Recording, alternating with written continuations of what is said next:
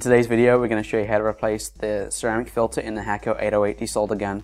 You're going to need to do this every once in a while. After the filter clogs, you'll notice the vacuum stops working as efficiently. Here are the materials you're going to need to replace the filter. Firstly, you're going to need a new filter. If you get the, the kit, they're going to come like this. Just tear it open and pull one out. Here's one that I have set around, so we're going to use that.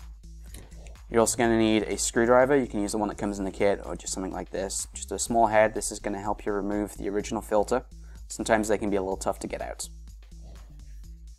So the first thing we need to do is make sure that the desolder gun is off. You obviously don't want to hurt yourself and they get pretty hot.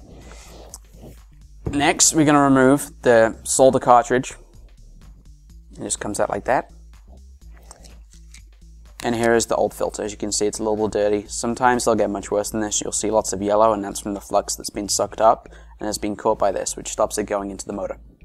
So, take your screwdriver, push it in, and out comes the old filter.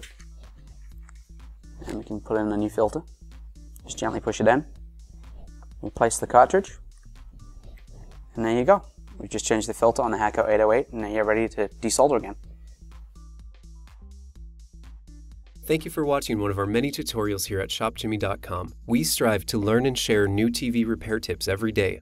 Subscribe to our YouTube channel and grow with us. Share our videos with your friends and help us spread the savings.